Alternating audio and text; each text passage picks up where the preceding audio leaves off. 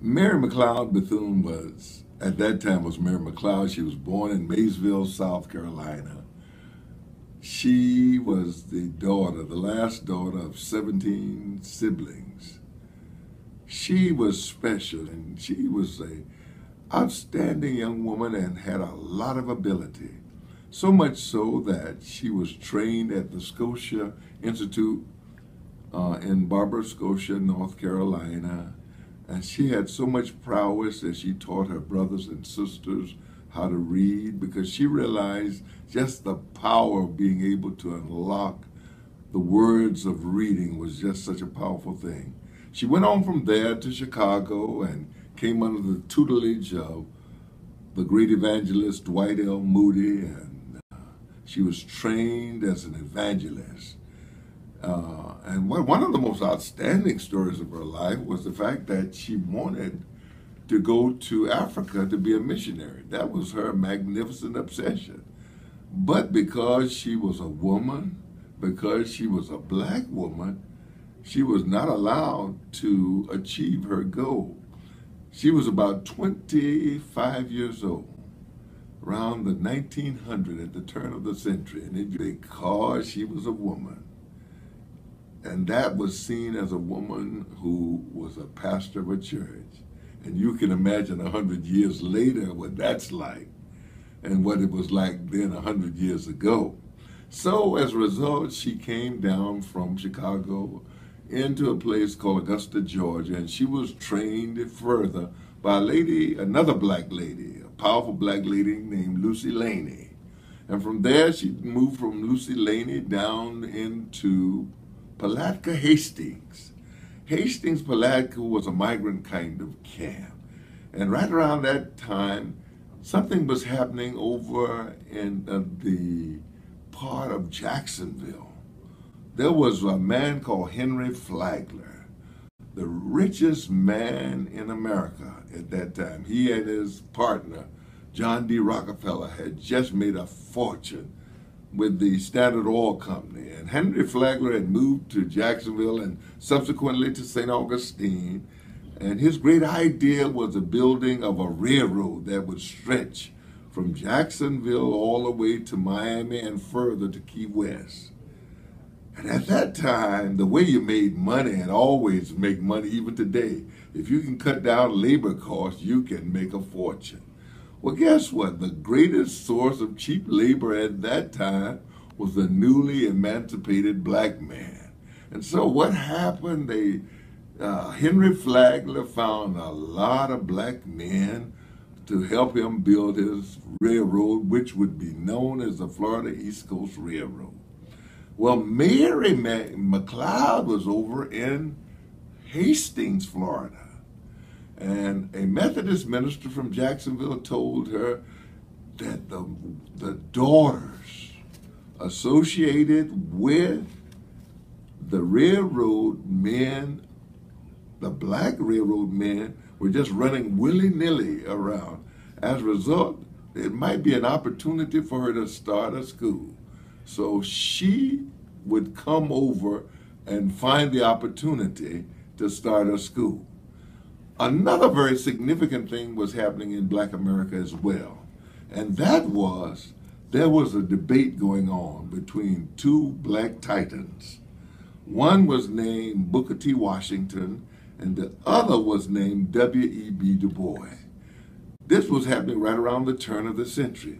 Both these men were trying to make their positions known about what would be the fate of the black man in America. W.E. Du Bois came from the philosophy of training the talented 10th. By that, he meant that if you train 10%, the top 10%, then they would then in turn train the rest.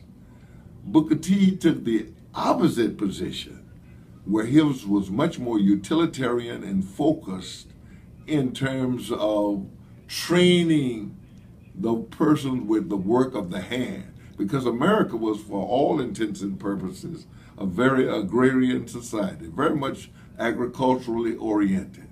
And so he came along with this idea of the head, the heart, the hand. Well, guess what? Booker T won the debate in the South. And what you have, if you ever take a good look at the logo of Bethune-Cookman College, Bethune-Cookman University, you will see the influence of Bethune by Booker T. Washington. You'll see the head, the heart, and the hand. If you're ever on the campus, take a good look when you come into the cafeteria. There's a large black and white photo of Mary McLeod Bethune in the very early, early days of the school. And it shows her with some young black girls, and they, she was training them to be homemakers because that was the role of the black woman then. The 1920s were a most unusual time for the newly emancipated black man and woman, specifically as it relates to the 15th Amendment, which was ratified in 1870, five years before her birth.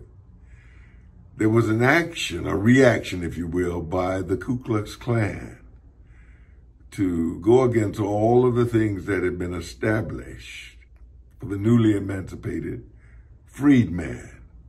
And in 1920, it came to a boil right here in Central Florida, where the Ku Klux Klan, hearing about the work that Mary McLeod Bethune was doing on her campus and encouraging people to take a sensitive right came against her in terms of an election that took place in 1920 here in Daytona Beach.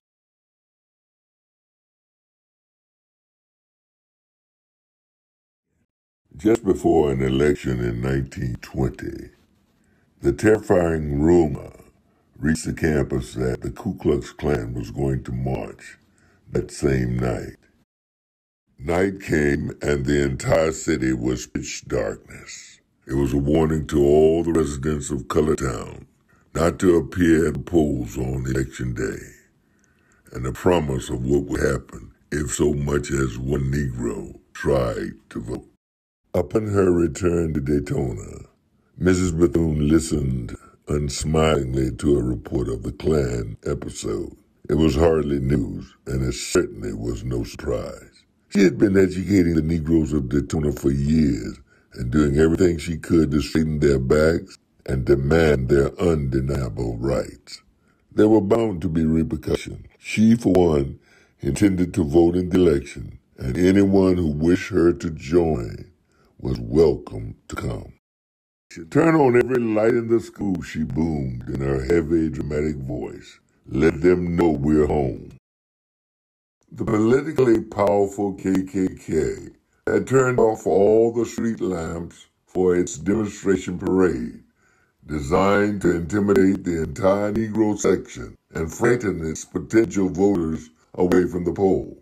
But it could not control the lights of the school. Mrs. Bethune ordered that all the lights within Faith Hall be turned off and all the outdoor ones on the campus be turned full on. Eight o'clock the next morning, when the polls opened, two lines were stretching outside the store, which was the assigned voting place, plainly marked white and colored. The registered Negroes reached far back along the block. Mrs. Bethune walked up and down the uneasy, fearful line, instilling confidence, and the line held. They were not giving in. They were kept standing there all day while the white men entered jovially and departed. Shortly before closing time, they were allowed in as the law decreed and cast their ballots. When the votes were counted, the Klansmen had been defeated and the man of their choice had been elected. In 1920, Election Day, November the 2nd, Mary McLeod Bethune stared down the evil of the KKK in Daytona Beach and won.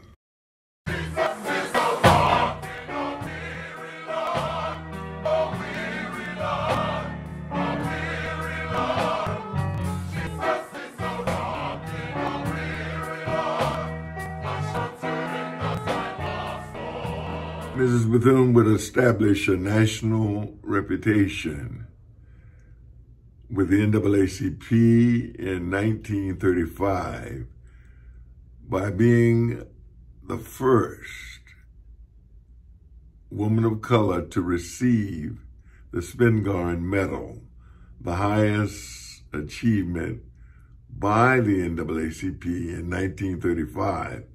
And in 1940, she would become vice president of the organization.